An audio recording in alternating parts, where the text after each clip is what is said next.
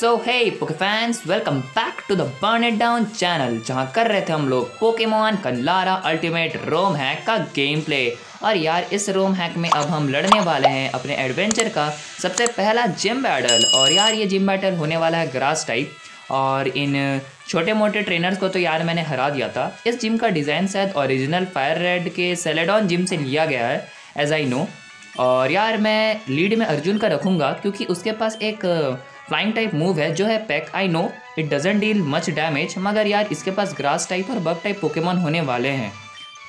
तो या मैं उसी से लीड करने की कोशिश करूँगा।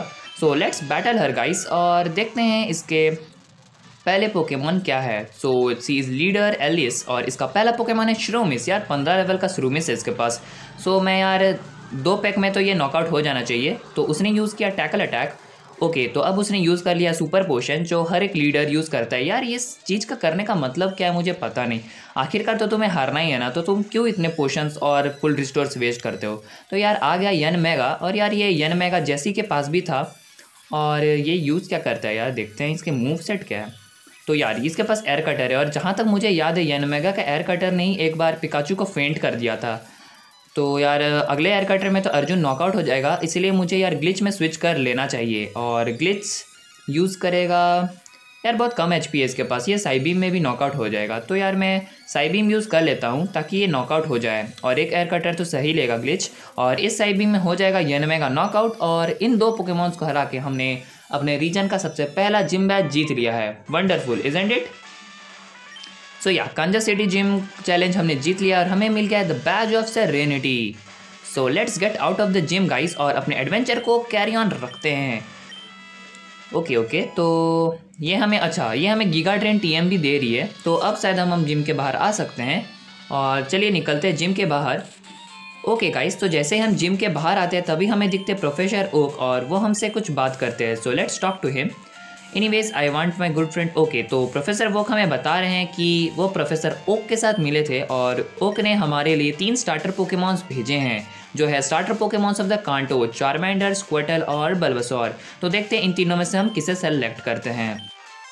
सो so गाइस हमारे पास पहले ही एक ग्रास टाइप पोकेमॉन है, जो है अर्जुन तो यार मैं स्क्वेटल और चारमेंडर में से तब मैं चारमेंडर को सेलेक्ट कर लेता हूँ। या, क्योंकि तब हमारे टीम में एक चारिजार्ड होगा, जिसके पास फ्लाई होगा। मतलब एक फ्लाइंग टाइप पोकेमॉन होगा, तब मुझे अलग से एक फ्लाइंग टाइप पोकेमॉन अपने टीम में नहीं रखना होगा। और यहाँ पर प्रोफेसर वोक एक आदमी के शरीर से पार होते हुए चले गए हैं, पता नहीं कैसे, मगर उस चीज़ को छोड़ते हुए अब हम चारमेंडर को चेकआउट करते हैं, जो एक ट्वेल्व लेवल का चारमेंडर है। और यार, इसे लगता है मुझे काफ़ी ट्रेनिंग देनी होगी। तो इसके पास था एक ओरन बेरी जो मैं यार अभी के लिए रख देता हूँ, मगर यार क्योंकि ये यार ट्रेनिंग बैटल्स में भी उस ओरन बेरी को कंज्यूम कर लेता है तो यार वो कुछ फ़ायदेमंद नहीं होता है। सो यहाँ पर है एक ट्रैवलर जिसके पास है कट एच एम मगर यार वो कट एच एम को यूज़ नहीं कर सकता, क्योंकि उसे वो कट एच एम के लिए उसे चाहिए होगा। इस, क्या बोलते हैं, इस सिटी का बैच और इस सिटी का बैच एक ग्रास टाइप है तो तुम सोच ही सकते हो, इन ट्रैवलर के पास रॉक टाइप पोकेमॉन्स ही होते हैं तो वो कैसे ही हराएँगे। इसलिए इन्होंने हमारी हेल्प लेके यहाँ से आगे बढ़ चुके हैं। और यार, मैं अब चारमेंडर को थोड़ा बहुत ट्रेन कर लूँगा यहाँ पर कांजा वुड्स में। सो या गाइस हमारा चारमेंडर अब लेवल सिक्सटीन पहुँच गया है और शायद अब वो इवॉल्व होगा। यस हमारा चारमेंडर यार चार मेलियन में इवॉल्व हो गया है। और यार, इसी शहर में एक नेम रेटर भी है तो मैं यार उसके पास जाके अपने चार मेलियन को एक अच्छा सा ना निकनेम दे देता हूँ। और यार, मैंने उसे निकनेम ज्वाला दे दिया है। असल में मैं उसे ज्वाला निकनेम देना चाहता था, मगर यार जे के जगह अगर हम जेड दे दे तो वो थोड़ा अच्छा अट्रैक्टिव दिखता है। बस इसी रीज़न से मैंने उसे ये नाम दे दिया है। और अब हम यहाँ से आगे बढ़ते हैं गाइज़ यहाँ पर भी छोटे मोटे ट्रेनर बैटल्स होने वाले हैं तो इनसे भी हम लड़ लेते हैं to get some cheap experience और यहाँ से आगे बढ़ते हैं। यार, यहाँ पर काफ़ी सारे अच्छे ग्रास टाइप ग्रास बोल रहा हूँ वाटर टाइप पोकेमॉन्स हैं। तो यार, तुम्हें अगर वाटर टाइप पोकेमॉन चाहिए तो तुम यहाँ से ले सकते हो। और यहाँ पर हमें मिल गया एक ब्रोकन बाइक और इस बाइक को यार हमें लेके जाना होगा इस साइकिल शॉप में और ये यहाँ पर सिर्फ़ 500 हंड्रेड पोके डॉलर्स में हमारे इस बाइक को यार ठीक कर देंगे। तो पाँच सौ रुपये ये हमसे ले चुके हैं और हमारा बाइक अब बिल्कुल ठीक हो गया है। अरे यार मैंने यहाँ पर वाइगो पाथ में थोड़ी बहुत फ़िशिंग की थी तो मुझे एक शेल्डर मिल गया है जिसका मैंने रॉय निकनेम दे दिया है। उससे कुछ कनेक्शन है मतलब वो इवॉल्व होकर क्लॉइस्टर बनेगा तो क्लॉइस से थोड़ा बहुत राइम करता है रॉय इसलिए मैंने उसे रॉय दे दिया है। तो यार इस प्ले थ्रो में हमें टोटल चार पोकेमॉन्स की टीम हमने बना ली है, जो काफ़ी अच्छी है यार। सेकेंड जिम से पहले ही चार पोकेमॉन्स की टीम तुम समझ रहे हो? तो यार हम लोग यहाँ पर पहुँच गए मॉसडीप केवर्ड में, और यहाँ पर एक यार पिकाचू भी है, उसके पास मैं आता हूँ, पर उससे पहले मैं दिखा देता हूँ कि यहाँ पर एक इंस्टीट्यूट है, जिसे हम एक्सेस नहीं कर सकते। हमारे पास एक ग्रेट बॉल है। यहाँ पर एक रिवाइव भी है, और इस, इसके अंदर जाने से तो यार हमें सर्फ ज़रूरत होगा, मगर यहाँ पर है टी एम थर्टी टू जो है रॉक पॉलिश यार ये रॉक टाइप पोकेमॉन्स के लिए काफ़ी अच्छी मूव है। और यहाँ पर है एक पिकाचू जो है, पता नहीं क्या बोल रहा है। वो हमारे टीम को ज्वाइन नहीं करना चाहता। शायद कुछ बैजेस जीतने के बाद वो हमारी टीम को ज्वाइन कर ले। तो अब हम यार इस मॉसडीप केवर्न के अंदर जाते हैं। एक्चुअली इसका नाम मॉस केवर्न है। और यहाँ पर भी छोटे मोटे पोकेमॉन बैटल्स होने वाले हैं। तो मैं थोड़ी बहुत एक्सपीरियंस के लिए इनसे लड़ लूँगा। तो देखते हैं इसके पास क्या पोकेमॉन्स है। ऑब्वियसली इसके पास तो रॉक टाइप्स ही होंगे। तो अर्जुन का यार रेजर लीफ इन लोग को नॉकआउट कर देगा। ओके पहला पोकेमॉन रॉग एंड रोला और मैं यूज़ करूँगा रेजर लीफ ओके तो वन हेड के हो गया है और इसका अगला पोकेमॉन है एक राय हॉर्न अच्छा राई जो राय हॉर्न है। अच्छा इसका इवोल्यूशन का नाम होता है राई डॉन और उसके बाद ये इवॉल्व होता है राई पेरियर में।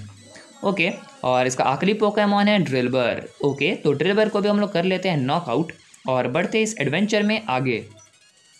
यार, मेरे टीम में एक एक्सा ड्रिल मैं पकड़ सकता हूँ ना?